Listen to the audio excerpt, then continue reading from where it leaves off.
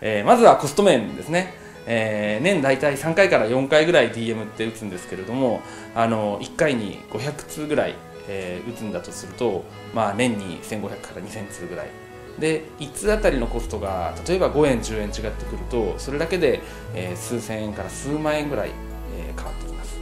またもう一つ大事なのが時間的なコストになってきて例えば自分でこう封入をして、えー、折ってのり付けして住所を手書きでなんて言ったらもう半日とか1日費やしてしまうところ今はあのラベルシールを印刷することと指示書をピーと書くだけなので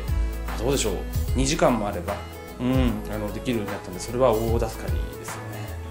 ね。もう今やあの DM を打つ際にアクアンさんのサービスは欠かせないものになっていて今では僕の営業所や隣の営業所支社全体であの DM なんか打たせてもらったりはしています。